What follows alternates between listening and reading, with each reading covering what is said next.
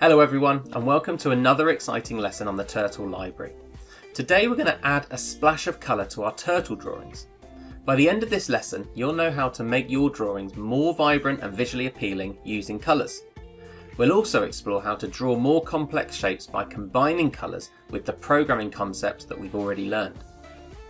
In Python's Turtle library, you can easily change the colour of the lines your turtle draws and the fill colour it uses for shapes. This is done using the colour, begin fill and end fill commands. Let me show you how it's done. In this example, t.color red sets the pen colour to red. The t.begin fill and the t.end fill commands are used to fill the circle with the same colour.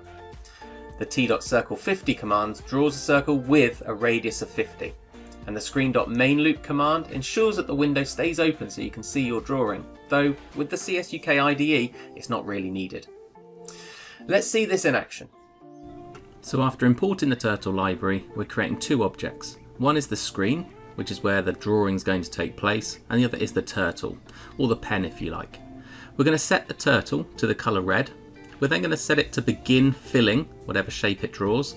We're then going to make it draw the circle of a radius of 50 units, and then we're going to make it end that filling process. And this is the result. A beautiful red circle. Now let's use what we've learnt to draw something more complex and interesting, a colourful spiral. By changing the colour each time through the loop, we can create a multi-coloured spiral. Now in this code, we're using a list of colours and cycling through them. The loop runs 30 times and with each iteration the turtle moves forward and turns right creating a spiral. Let's take a closer look at this code. So here, after we've created our screen object and our turtle, we're setting the turtle speed to 10 so that it draws fairly quickly. We've then got a list of colours and if we can understand how this works, each of these items has got an index, so it's got a numerical value. This is index 0, this is index 1, this is index 2, and so on. So if we wanted to get red, it would be colours 0. If we wanted to get yellow, it would be colours 2. We've then got a for loop.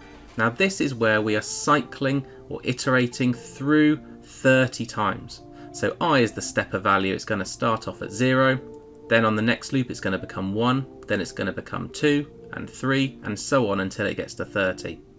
And within each of these iterations we're going to pick a colour from the list using that stepper value.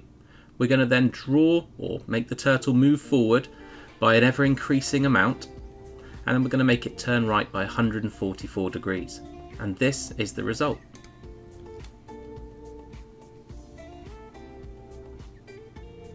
A lovely colourful spiral.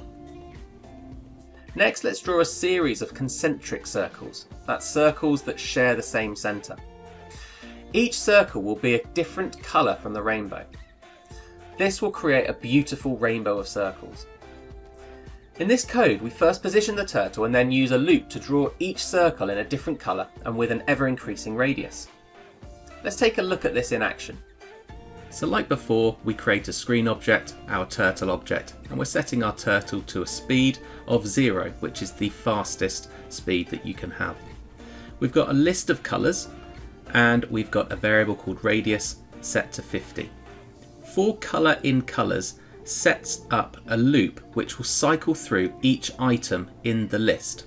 So colour will be red in the first loop, and then in the second iteration it will be orange, and then it will be yellow, and so on. And what we're doing within each loop is we're setting the turtle colour to the colour that's picked. We are making it draw a circle with a radius of 50, and then we are increasing the radius by 8 so that the circles get bigger and bigger for each loop.